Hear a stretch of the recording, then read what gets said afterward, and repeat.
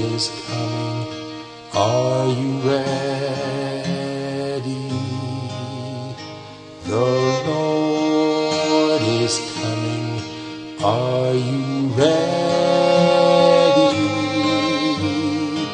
Would your heart be right if he came tonight? The Lord is coming. Are you ready?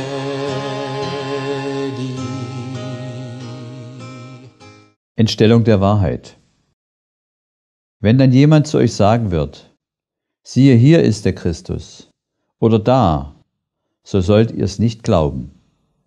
Bevor der Glaubensabfall in sein letztes Stadium eintritt, wird es Verwirrung über den Glauben geben. Über das Geheimnis Gottes wird es keine klaren und bestimmten Vorstellungen geben. Eine Wahrheit nach der anderen wird verdorben werden. Nachdem die Wahrheit allen Völkern zum Zeugnis verkündigt worden ist, wird jede verfügbare Macht des Bösen in Aktion treten. Und die Gemüter werden durch viele Stimmen verwirrt werden, die rufen, hier ist Christus, dort ist er, das ist Wahrheit, ich habe eine Botschaft von Gott, er hat mich mit großem Licht ausgesandt. Dann wird es zu einer Verrückung der Grenzsteine kommen, zum Versuch, die Säulen unseres Glaubens niederzureißen. Eine entscheidende Anstrengung wird unternommen werden, um den falschen Sabbat zu erhöhen und Verachtung auf Gott zu werfen, indem man den von ihm gesegneten und geheiligten Tag verdrängt. Dieser falsche Sabbat soll durch ein hartes Gesetz durchgesetzt werden. In der Zukunft werden Täuschungen aller Art aufkommen. Und wir brauchen festen Boden unter den Füßen. Wir brauchen stabile Säulen für das Gebäude. Nicht eine Stecknadel von dem, was der Herr festgesteckt hat, darf gezogen werden. Der Feind wird falsche Theorien einbringen. Zum Beispiel die Lehre, es gebe gar kein Heiligtum. Das ist einer der Punkte, in dem es eine Abweichung vom Glauben geben wird.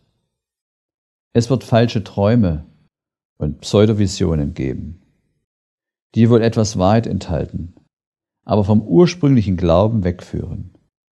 Der Herr hat den Menschen eine Regel gegeben, durch die sie solche erkennen können. Hin zur Weisung und hin zur Offenbarung.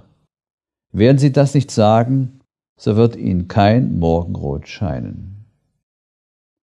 Während wir uns dem Ende der Zeit nähern, wird der Irrtum derart mit Wahrheit vermischt werden, dass nur solche in der Lage sein werden, die Wahrheit vom Irrtum zu unterscheiden, die vom Heiligen Geist geleitet werden.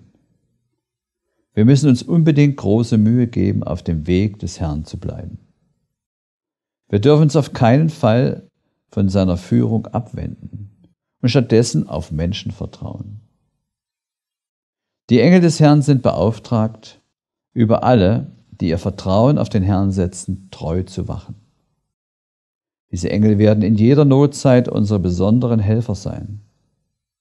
Jeden Tag sollen wir mit voller Glaubenszuversicht zum Herrn kommen und von ihm Weisheit erwarten.